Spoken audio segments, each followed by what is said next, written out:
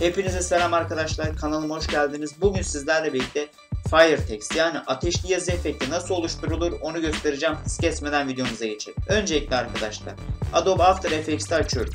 Daha sonra File deyip sol üstten New deyip buradan yeni bir proje açıyoruz. Ekrana böyle bir şey çıkacak arkadaşlar. Burada da New diyoruz ve bunu okeyliyoruz. Şimdi geldik text aracımızı oluşturmaya.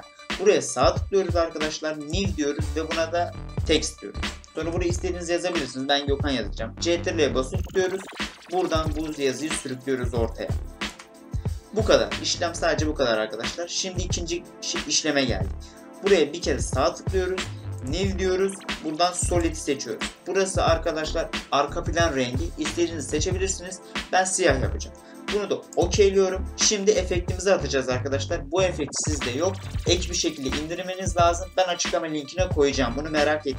Arka plan rengine sağ tıklıyoruz. Buradan efekt diyoruz.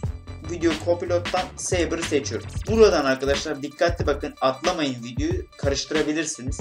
Buradan Selash'ten Fire diyoruz. Custom Mixe'den bunu açıyoruz. Saber'dan bunu text layer yapıyoruz. Şuradan da arkadaşlar bunu ikinci text aracımız seçiyoruz. 2 diyoruz yani. Şimdi oluşturduk.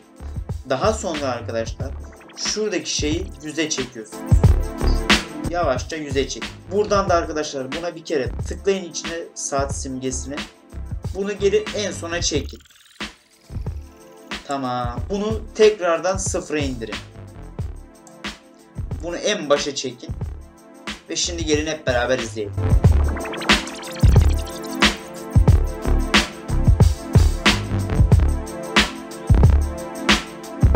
Full HD açmıyorum arkadaşlar donduğu için. Bu yüzden en düşük seviyede izliyoruz şu an. Ayarların hepsini kurcalayın arkadaşlar.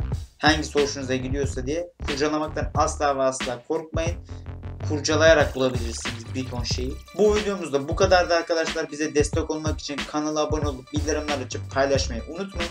Bir sonraki videoda görüşmek üzere. Hoşçakalın. Bay bay.